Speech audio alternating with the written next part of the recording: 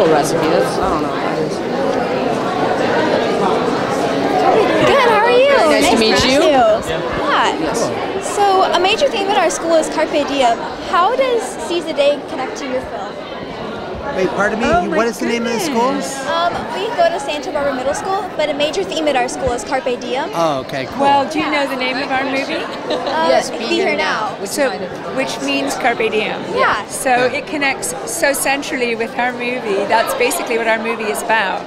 Um, it's a love. It's called Be Here Now, the Andy Whitfield story, and it's a love story which reminds the audience about how life is the journey and not the destination.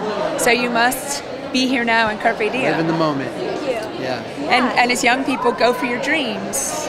What, what, whatever it is that you want to do with your life, you get one go around and go for that.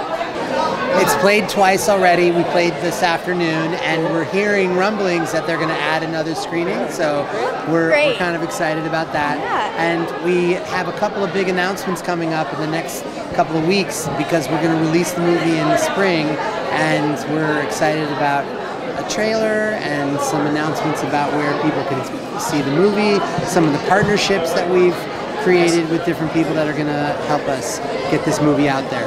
Thank you. And we are ju- we um, uh, financed the movie through a Kickstarter campaign, um, and so we have 2.5 million followers already. wow. And with the release of our movie, we're going to be both in traditional movie theaters, but we're also working with a crowdsourced theatrical company called Tugg.com, which is going to enable anyone anywhere in the country to bring the movie to their own movie theater or their own school or their own community center Right. just through the platform. Wow, that's really amazing. Yeah. So maybe you can bring it to your school.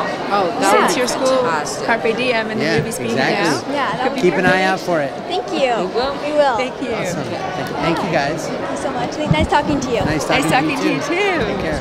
Yeah, well, Thank you. thank you so you. much. Good luck. Thank you. guys. Good work. Have a good time. You too. Thank you very much.